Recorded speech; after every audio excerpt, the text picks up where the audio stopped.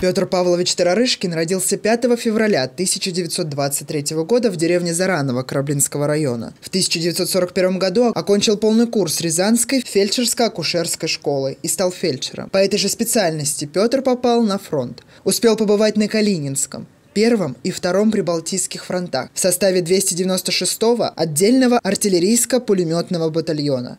В 43-м был тяжело ранен, но вернулся в строй. У меня же вот отец в начале своей послевоенной деятельности, он был начальником санитарной службы района, я был начальником главным санитарным врачом управления исполнения наказаний Рязанской области. То есть здесь у нас как-то происходит э, передача, передача, так сказать, из поколения в поколение. 9 десятый класс, вот, когда, значит, именно вот в процессе разговора с отцом, в процессе его, значит, э, так сказать, рассказа, рассказов о деятельности медицины, медицины. Он мне много рассказывал о своей военной деятельности. Вот, э, медаль за отвагу он получил за то, что э, в одном бою вынес из поля боя 15 человек.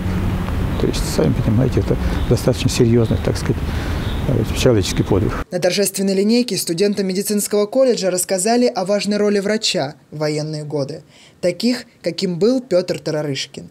В этом году памятную табличку установят не только в Рязани, но и на малой родине героя в селе Пустотино Кораблинского района. Герман Гущин, Михаил Азуткин, телекомпания «Город».